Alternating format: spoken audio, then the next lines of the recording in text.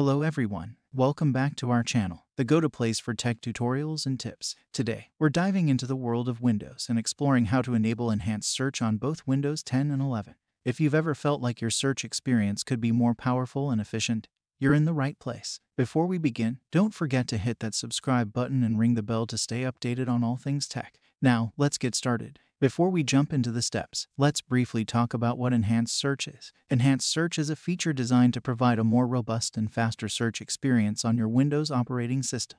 It allows you to quickly find files, apps, and settings with improved accuracy. By default, Windows restricts its indexing to library folders such as downloads, documents, pictures, and others. This limitation results in a slower and more constrained search experience, preventing users from searching for files across different drives or folders. To enhance the Windows search functionality and overcome these limitations, it's essential to activate the Enhanced Search mode. To get started in the search text box search for searching Windows, you can do the same on Windows 11.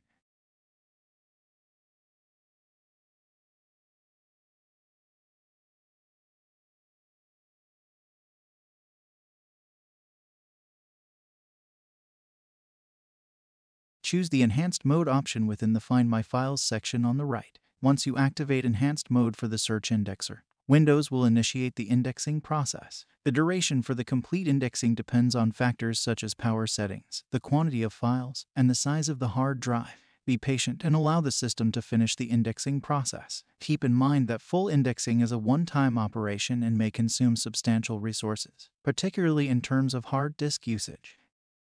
If there are particular folders you prefer not to be indexed by Windows and not to appear in search results, you can manually exclude them.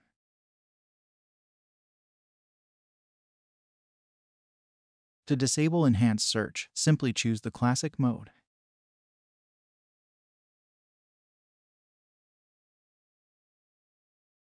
And there you have it. You've successfully enabled Enhanced Search on both Windows 10 and 11.